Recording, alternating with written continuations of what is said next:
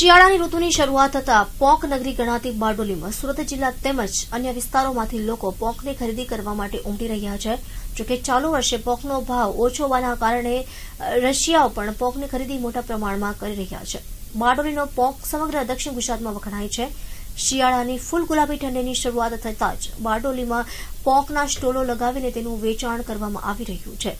જોકે આ વર્ષે પોકનું ઉત્પાદન ઓછું રહેવા છતાં પણ પોકના ભાવોની વાત કરીએ તો પણ ખેડૂતોને ભાવ ઓછો મળી રહ્યો છે અને આવનારા દિવસોમાં પોક બજારમાં વધુ ઘરાકી નીકળે તેવી શક્યતા સ્ટોલ ધારકો કરી રહ્યા છે. હું મહુવાનો વતની છું, હાલ બાબેન રહું છું. અહીંયા બારડોલીમાં ઘણા વર્ષોથી પોંકનું વેચાણ ચાલુ છે. ગયા વર્ષે પોંકનો ભાવ પાંચસો રૂપિયા હતો, તે અત્યારે ઘટીને ચારસો રૂપિયા થયેલો છે, એટલે પોંકના રસિયાઓ, પોંક ખાવા જથ્થાબંધ પોંક લઈ જતા છે.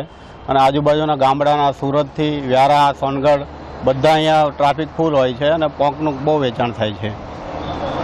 મારું નામ ચેતનભાઈ છે અને અમે જૂની કિકવાડની અંદર વર્ષોથી પોંકનો પાક બનાવીએ છીએ. મારે જમીન છે આવેલી.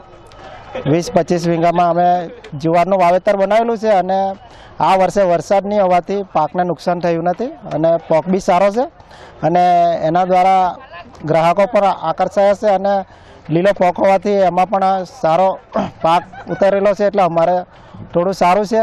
અને બીજું કે ઠંડીની સિઝન સારી છે એટલે એના દ્વારા ગયા વર્ષ કરતાં પાંચસો રૂપિયા જે ભાવ મળતો હતો અને આ વર્ષે ચારસો રૂપિયા છે.